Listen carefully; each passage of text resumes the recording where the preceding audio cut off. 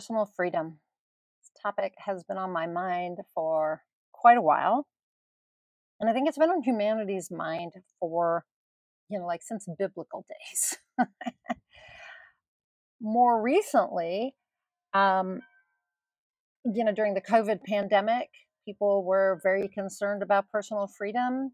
Uh, there were the masks and um, all the news stories and whatever.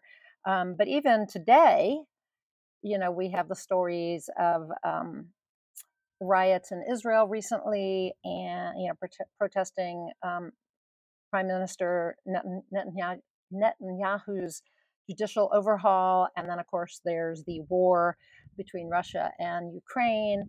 All these things bring up personal freedom issues, but most of us actually struggle more with personal freedom in our private lives. In our private lives, um, and, you know, eh, think about it. Maybe you don't feel free to be yourself, to do what you want to do, to voice your opinions, your beliefs, values, or points of view um, without worry about negative ramifications.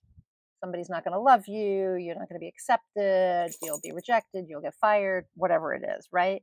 And so you you end up feeling imprisoned by by your thoughts by your beliefs, by your values, by your habits, um, you know, maybe by your health or your finances or your relationships or your job, right? And I understand that because I've not been without personal freedom issues of my own. And um, I've talked about that a lot, not feeling free to do the work I'm here to do, not feeling free to express my spiritual or metaphysical beliefs, right? But what I learned was to to um, exercise my inherent personal freedom. And everyone has inherent personal freedom, even you. Even if you don't think you do, you do. Even in this moment, we all do. And um, most of us just need to learn to access it. And as a result of accessing our inherent personal freedom, we we improve our lives, we improve ourselves, we improve our lives. And um, I've been thinking a lot about this recently um, because I'm just about to, uh, in, in, a couple weeks, the members of the Inspired Creator community um, will be privy to a set of 12 sessions, so six months of a focus on personal um, personal freedom, and I just think it's such an important topic. And the last time that I offered this set of 12 sessions, the six month focus on personal freedom, I remember saying that I couldn't think of a better time to tackle the topic. But that was in 2020. And, you know, there was the death of George Floyd. And, um, you know, I mentioned masks earlier. You know, people were all up in arms about whether or not they should have to wear masks and the rest of it. And people were up in arms about personal freedom big time. They really were. But I would say the same thing now that I can't think of a better time to tap, tackle this topic of personal freedom because it, for, for a totally different reason. So let me let me explain that. I meet so many people just in my life, um, as well as through my coaching, um, that who feel jailed personally, personally jailed one way or another. And you might be able to relate to this because, like them, you might not be able to um, find the key to let you let yourself out of the cell you find yourself in. Um, you don't realize you hold the key to that cell, um, and you know, and so you you keep locking yourself up, thinking you have to do it this way because that's what's acceptable. You have to say it that way or believe something because that's going to uh, get you love um, or acceptance. You uh, have to show up looking a certain way because that's the, what's you know what you should do or have to do or you know whatever you think is is the jail you find yourself in um, but if we leave the jailing and key metaphor to the side, what we're really talking about here is realizing that you have the personal, you, you have this inherent personal freedom, and then allowing yourself to access it and put it to use. And we all have it. It comes in the form of, you know, being able to choose our thoughts, our actions, our habits, our mindsets, our beliefs, our values, our way of showing up in the world, our way of seeing our lives and others. We have choice. We have personal freedom. So, um, you know, for me, and I, have talked about this kind of ad nauseum with, you know, the I, I didn't feel like I could express who I was spiritually or metaphysically, you know, I would call myself jokingly the woo woo lady, but I didn't feel like I could really talk about that or express that because, first of all, my husband had decided none of what I believed was true. Um, and so he stopped believing the way I did. Also, I was afraid that um, I would push away clients, um, that friends would kind of disown me, all of that. Um, and I thought I'd set myself free, but even you know just today I saw that I went through a whole mental gyration around you know I'm not at my desk yet. I should be at my desk yet. Oh, my husband's not here, so it doesn't really matter because nobody's watching when I get to my desk. And I thought, oh, but even without him here, I'm thinking, what is he going to think if I'm not at my desk by 10:30? Yeah, he's at his desk at six or 6:30. So you know, Eh, so it's this habitual way of thinking that has to do with what other people think and what other people expect of me right what they think i should be doing so it's a daily practice to to exercise my personal freedom. So think about it. Isn't it time for you to challenge your beliefs and um, behaviors uh, related to how you handle you know fear and your goals and um, your your career and how you dress and all of that and to stand in your personal power to stand in your personal power and maintain momentum no matter what life throws your way because you can always choose how to think how to show up how to respond all of that right it's time to check in on how to live your life's agenda that's the biggest part for me. Your life's agenda, not the agenda somebody else thinks you should have or wants for you. It's time to think about how to move towards your goals and your dreams and be authentically you in every way. Because when you exercise your personal freedom, you actually can step into your best self and create a life that truly feeds your soul, that's aligned with who you are both as a spiritual being and a human being, right? And it's a powerful time right now. The world is changing, the energy of the earth is changing. Like we're going into a whole new whole new reality. And now is a great time to decide who to be. Who to be. And you have the opportunity to, to declare that, to declare who you are, who you want to become, and what habits and mindsets are going to help you show up as that person or just as authentically yourself, right? And you can do that without worry about what others expect of you, what they believe you should do, or who you should be, and think about your decisions and, and what you're doing and who you're being. And you've waited too long to say, this is me and this is my life. This is who I am and this is what I want and this is what I'm creating. And I don't give two hoots what you think about it. You've wait, waited too long to be fully authentic and to live life on your terms. And that's such a big thing. Live life on your terms, not on other people's terms. And think about how you've suffered as a result of not doing that. Living as a partial version of yourself, as someone you're expected to be, in a way that feels safe and accepted but it's not, that's not really living, is it? I don't think so. I've been there and I've done that. And it's not fun, it's exhausting, and it's constraining. It's putting myself in a jail cell. So, if like me, you're ready to break free, I have a simple three step process to help you exercise your inherent personal freedom in any situation. Okay? So, one, ask yourself why you're doing what you're doing or making the choices you're making? Are you doing it for yourself? Are you doing it for someone else? Are you being congruent with who you really are?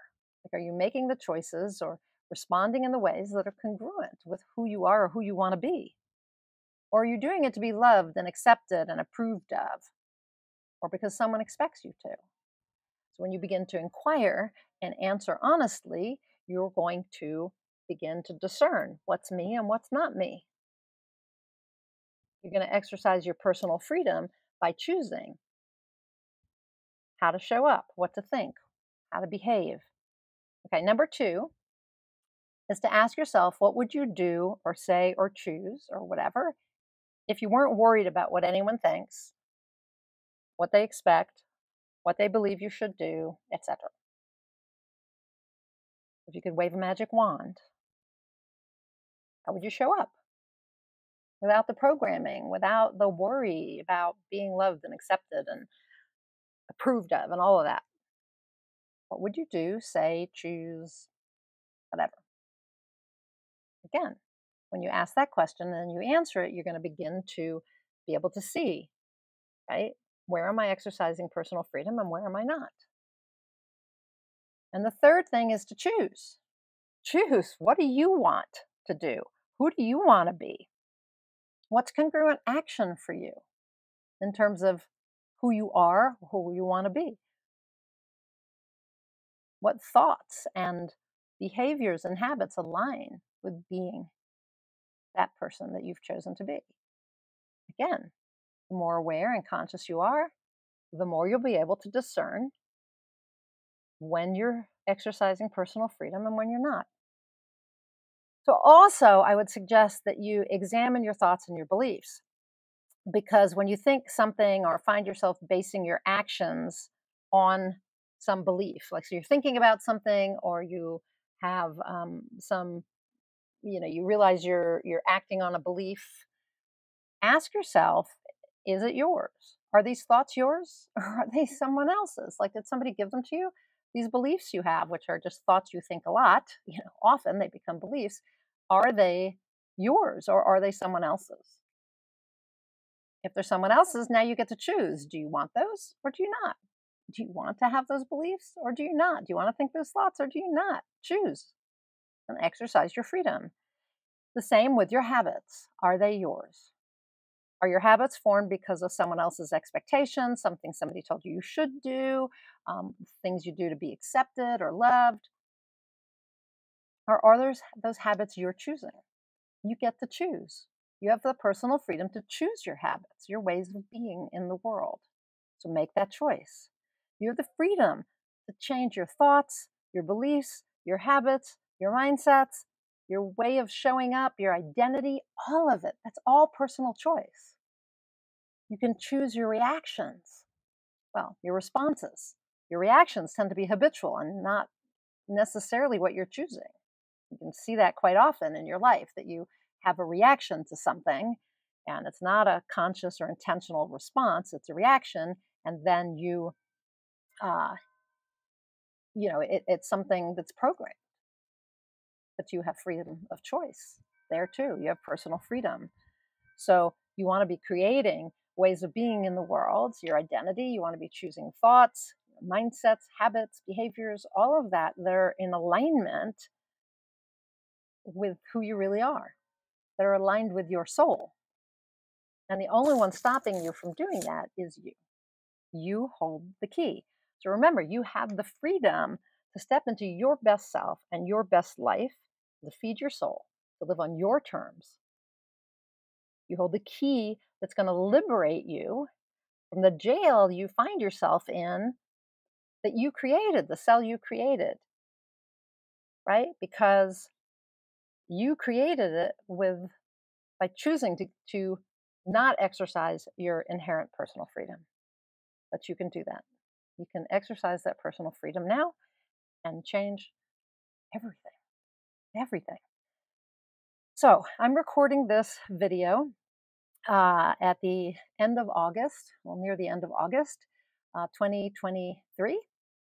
So if you're watching in August or early September 2023, or anytime between the end of August 2023 and actually February 2024, What I'd like you to know is that in the Inspired Creator community, we're going to spend the next six months. I think I mentioned this earlier. We're going to spend the next six months focused on personal freedom, on breaking free of that cell you've put yourself in, turning that key in the lock, and beginning to live life on your terms.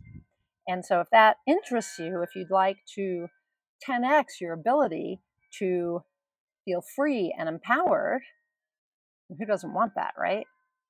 I'd like to invite you to join the Inspired Creator community at this time. Um, you can learn more by just going over to ninaamir.com and um, you, can easily find um, find information on the Inspired Creator community. I will put a link down below this video so that you can easily click on it. Right now, there are a few bonuses. I'm going to tell you about them really fast.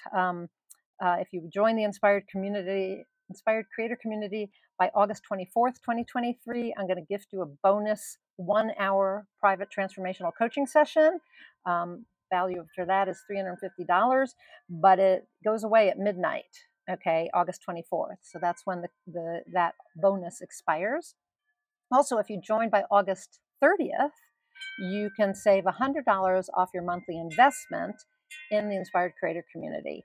Um, the coupon code for that, um, again, will be down below, but I'll give it to you. It is ICC AUG23. So ICC, like Inspired Creator Community abbreviation, AUG, like August abbreviated, and the year 2023, 2023 abbreviated. So ICCAUG23.